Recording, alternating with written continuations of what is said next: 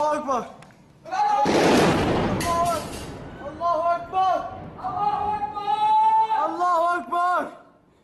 قصف قلعة الحصن في محافظة حمص قريبا من الحدود مع لبنان لم يكن ثمة قيمة تذكر لقلعة الحصن السورية المغرقة في التاريخ والمتميزة بشكل عمراني فريد.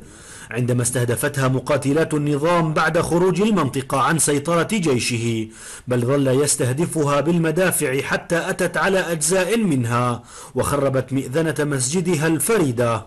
بتاريخ 16 9 2013 تم الاعتداء على مئذنة الجامع الكبير في قلعة الحصن وقد بنيت هذه المئذنة في عام 570 هجري وقد بناها الملك العادل حارم الدين قايماز الذي كان حاكما لمدينة حصن الأكراد وأشرف على بنائها الكيتران عبد الله الأشرفي وتعد من المآذن النادرة في الشرق الأوسط حيث يوجد منها في سوريا فقط أربعة مآذن واحدة منها في المسجد الكبير في مدينة حمص.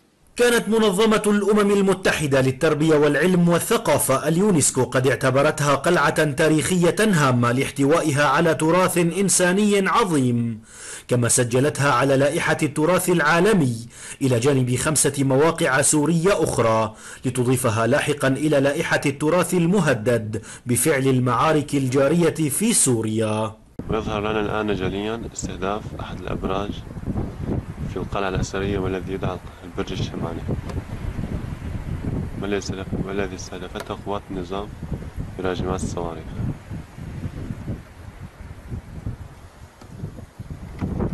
هذه بقايا الصاروخ.